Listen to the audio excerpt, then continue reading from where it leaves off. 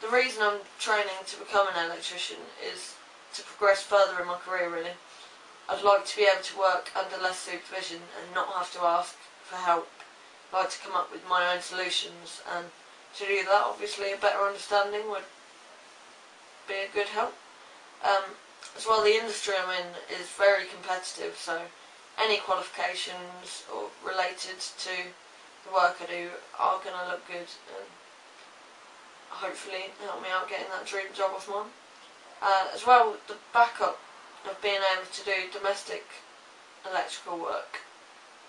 That's a good thing to lean back on. It's always good to have that security. So.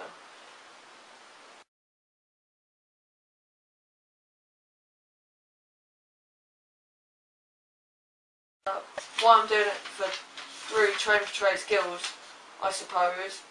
I'm not that much of a self-motivated person, but I knew that I didn't want to leave work. Theatre is such a hard line of work to get into, and now I've been there for two years, it didn't make sense to leave and come back again, because it'd be so hard getting back in. Um, I'd been looking into doing electrical courses for a little while, and train for trade skills, I suppose, offered what I was looking for. I didn't want to leave work and go to college, but I also didn't want the quick fix solutions. I didn't want to be taught how to pass an exam. I wanted to understand the work I was going to be doing and know that everything I did was safe and they seem to offer that. Um, so yeah, it means that I can keep doing the work that I love and I don't have to panic about deadlines. I can suit the course around my lifestyle and keep looking for work and keep going for the jobs that I want, knowing that this will always fit around that. Uh, the cost was a bit of an issue for me. Um, I got a what's it called a career development loan to help spread it out over time, which has been a big help.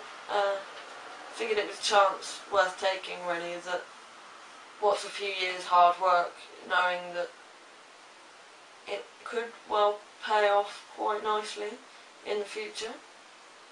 Um, I could end up with the job I love and a great salary in the place I love, so I think I decided at that point it was worth the risk.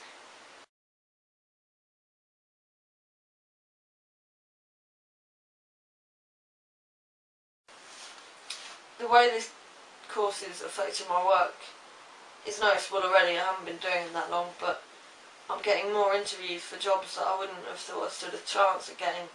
Just the fact that I'm studying this, it shows how serious I am about what I do and how much I want to succeed.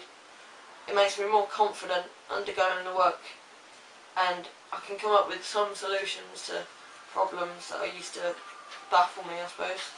Um, it means that my boss has more confidence in me. He doesn't need to supervise me as much, so in turn I'm getting more work out of it. So it's already starting to pay off, I guess. I know that I might need some more specific knowledge for the technical theatre stuff, but that's stuff that can be picked up along the way, and I'm learning it on the job. And once the course is complete, there's no reason I can go back and study anything else.